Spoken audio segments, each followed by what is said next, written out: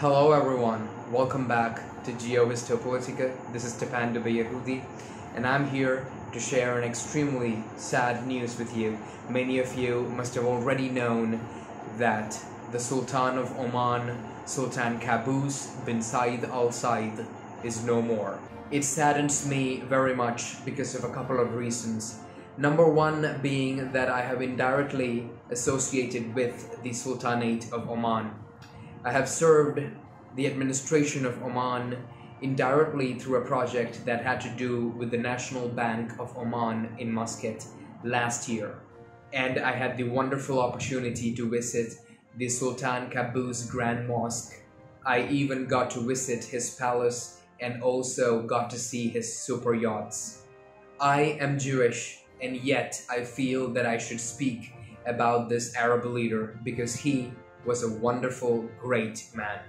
He was the only Arab leader who recognized Israel, even invited Prime Minister Benjamin Netanyahu of Israel to Muscat.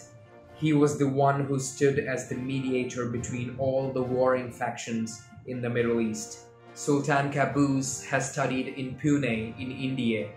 He had also served in the British Army. Many of you, my close friends, know that I am also deeply associated with the British Army. What saddens me even more is that last night, before I recorded the previous video, the one from yesterday, I had thought about him.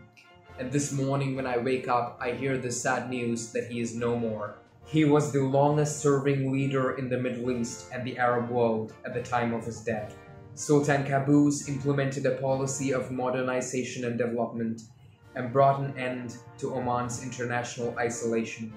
His reign saw a rise in living standards and development in the country.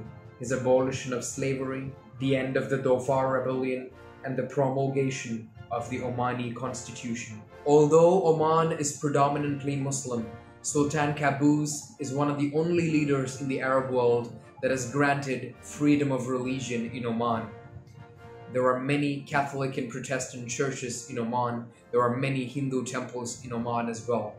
I myself, when I landed in Oman, the customs officer saw that I was Jewish. He looked at my passport, he scanned it, and somehow he realized that I was Jewish, and he greeted me in Hebrew. He said Shalom Aleichem to me with a smile.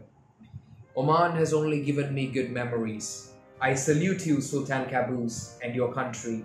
You are an example to all other Arab countries.